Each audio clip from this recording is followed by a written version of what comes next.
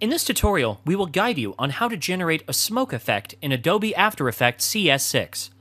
First of all, generate a white solid layer and apply the following effects.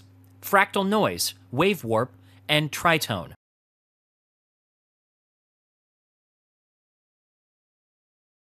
Configure the fractal noise effect first.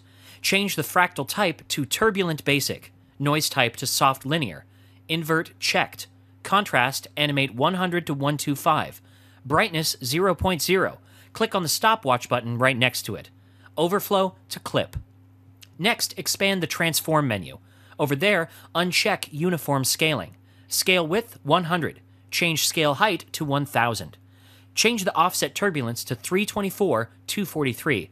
Check the perspective offset option. Edit complexity to 3.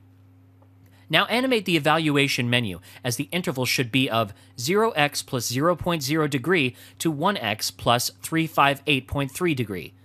Make sure the keyframes follow the same gap as the contrast option. Let the other settings stay as default. Now, move to the wave warp effect. Change the wave height to 50 and wave width to 100. Direction 0x minus 70.0 degree.